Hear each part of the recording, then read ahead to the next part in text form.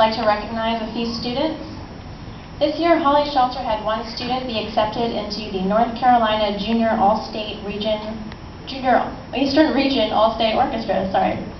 This means that she is considered to be one of the best middle school violinists in the entire state.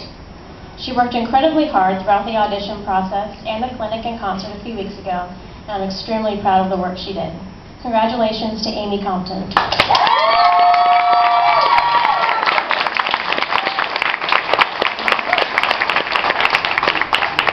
I would also like to start a Holly Shelter tradition of having orchestra awards at the end of the year. These awards are given to one student in each grade level, along with a director's award given to one eighth grade student.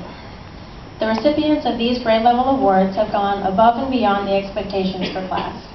They have come in every day prepared, spent extra time practicing, and have been outstanding students in every way.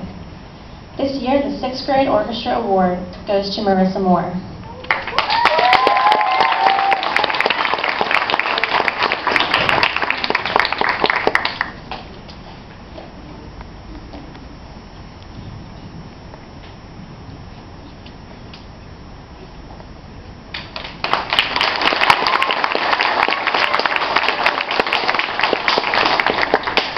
The seventh grade orchestra award goes to Amy Compton.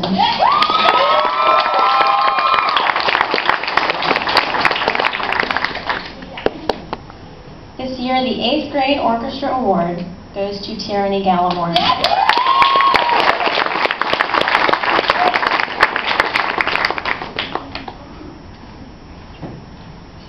The Director's Award goes to a student who constantly shows how much he cares and works extremely hard at his instrument. This student is always asking to stay after school to practice or to show me a song he learned after listening to the radio. I'm proud to give this award to Gerald Pridgeon.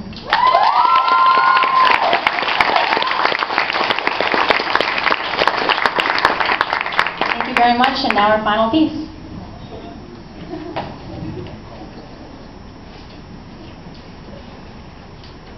Our last piece is an exciting tune.